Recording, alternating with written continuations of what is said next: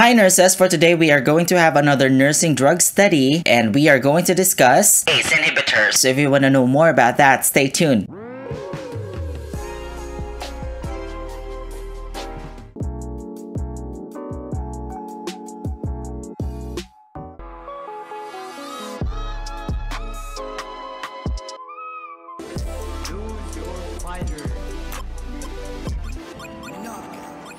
Welcome back to my channel. If you're new here, my name is Neil Galve. I'm a registered nurse and I do have a degree in medical surgical nursing. I create nursing educational content to help nursing students with their studies. If that's something that you are interested in, consider subscribing. If you're already a subscriber though, thank you so much for your love and support. I see you. I upload my nursing educational content two to three times in a week. Don't miss it out. Subscribe now. Hit that notification bell so that you will be the very first to watch my newest uploads. Also, don't forget to give this video a big thumbs up and share with your friends because that will really help me know they like to see more contents like this. Without further ado, let's jump into the video. Hi nurse nurses, for today we are going to have another nursing drug study because we are going to study ACE inhibitors. Yes, this is another nursing pharmacology discussion and I'm gonna give you everything that you need to know about ACE inhibitors. Now, if you haven't watched the other nursing drug study videos I created, I'll be putting it here and check out the other playlists I created under the concept of nursing, okay? Now, in order for me to do that, I will switch back to my PC and I'll see you guys in a bit. Alright, hi everyone! Welcome sa ating formal discussion ng iyong ACE inhibitors. This is your nursing pharmacology.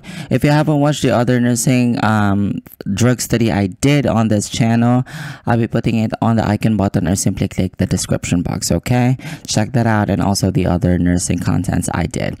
But for today, we're gonna have a thorough drug study about your ACE inhibitors, which we all know act as your antihypertensive medications. All right, let's proceed. Me share to you our objectives for today. We're going to discuss about classification, generic and brand name, route and dose, mechanism of action, indications, contraindications, adverse effects, and of course, this is not going to be a nursing drug study if we're not going to include nursing responsibilities. All right, let's begin. Classification, generic name, brand name, and route of administration, including your dose. Now, this is very straightforward, you guys. Class, angiotensin converting enzyme inhibitors o yung ating ACE inhibitors. Generic names, benazepril, captopril, enalapril, quinapril. Alright, what are the brand names? Lotensin, Capoten, Vasotec IV, and Accupril. In terms of route, you guys, this is actually given orally in a tablet form. Ano ang mga available dose mo? Meron kang 2.5 milligrams, 5 milligrams, 10 milligrams,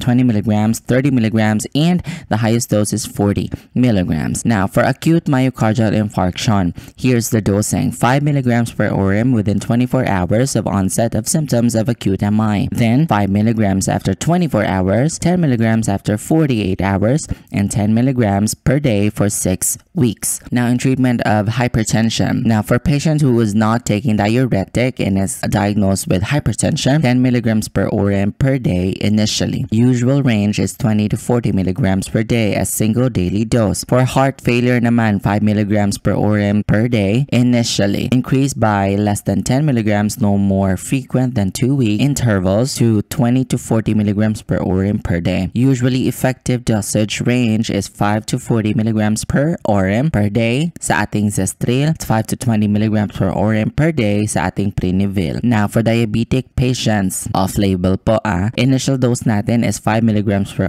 per day with diuretic. Now this may gradually increase dose according to blood pressure response. Dosage range is 20 to 40 milligrams per day. Now, mechanism of action. By preventing the production of angiotensin 2, which is a potent vasoconstrictor and a stimulator of aldosterone release, blood pressure is decreased with resultant loss of serum potassium and, and fluid but with a slight increase in serum potassium. Indications ng iyong uh, ACE inhibitors, you guys. Primarily indicated for hypertension and can be used alone or in combination with other drugs. Aside from its indication in treating hypertension, it is also combined with diuretics and digoxin in the treatment of heart failure and left ventricular dysfunction. The resultant effect is decrease in peripheral resistance and blood volume leading to decreased cardiac workload. It is also approved for treatment of diabetic nephropathy, in which the renal artery is being damaged by diabetes. It is thought that decrease in stimulation of angiotensin receptors in the kidney will slow down the damage in the renal artery. For children, safety and efficacy of ACE inhibitors has not been established in this age group. Adults, ACE inhibitors are not allowed during pregnancy. Older adults are more susceptible to drug toxicity because of the underlying conditions that would interfere with metabolism and excretion of the drug. Renal and hepatic function should always be monitored. What are the contraindications of your ACE inhibitors, you guys? Allergy to ACE inhibitors, prevent severe hypersensitivity reactions, renal impairment, decreased renal blood flow, effect of these drugs can exacerbate renal impairments.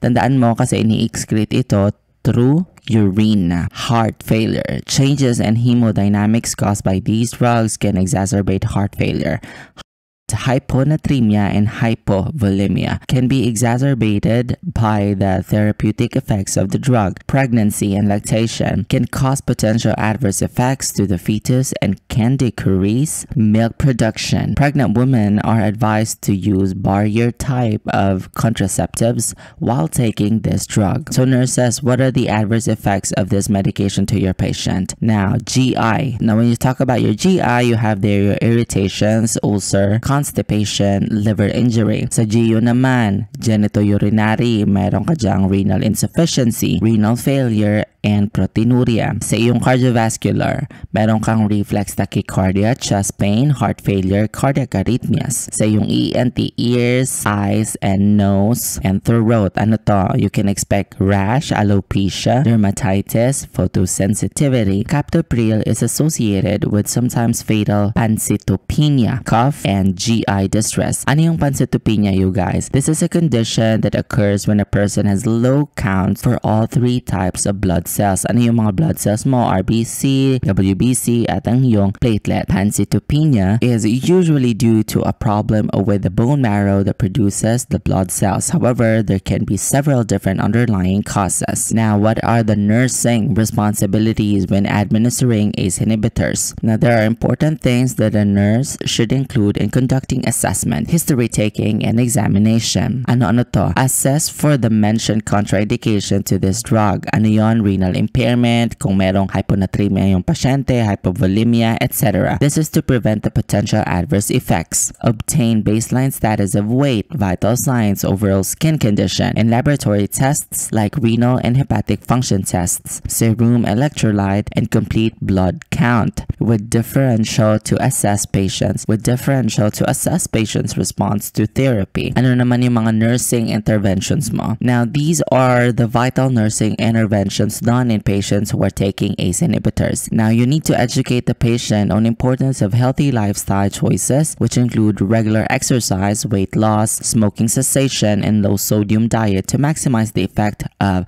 antihypertensive therapy. Administer drug on empty stomach one hour before or two hours after meal to ensure optimum drug absorption. Monitor renal and hepatic function tests to alert doctor for possible development of renal and or hepatic failure as well as signal need to reduce drug dose. Monitor for presence of manifestations that signal decrease in fluid volume. Example nito, yung, yung diarrhea kasi nga meron siyang adverse effect sa iyong GI. So, i-monitor mo yung kung may diarrhea, may vomiting, and dehydration ng iyong pasyente to prevent exacerbation of hypotensive effect of drug. Educate the patient and family members about drugs effect to the body and manifestations that would need reporting to enhance patient knowledge on drug therapy and promote adherence. You guys, thank you so much for watching this video. I hope you learned something. Please like, share, and subscribe to my channel for more nursing educational videos. Maraming maraming salamat po sa inyong suporta. We've been really growing and I really, really want to grab this opportunity to thank everybody and that includes you. Maraming maraming salamat po. Ipamalita mo na nga. Help me out. Spread the news about my channel kasi ito ang pinakamasaya at pinakabagong at pinakalibreng review center sa balat ng YouTube. You guys stay safe. I'll see you again next time. Thank you so much you guys for watching. Hope you enjoyed this one. Having grown my channel, you're ready here. You might as well subscribe. Hashtag Team Kulto. Give this video a big thumbs up and share with your friends. Let me know what you guys think. You put them down in the comment section below. Also, don't forget to check out the other playlists I created for you. I'll be putting the links on the description box or simply click this icon button right here. Let's connect. Follow me on all my other social media accounts. Everything is at Neil Galve. I'll see you again.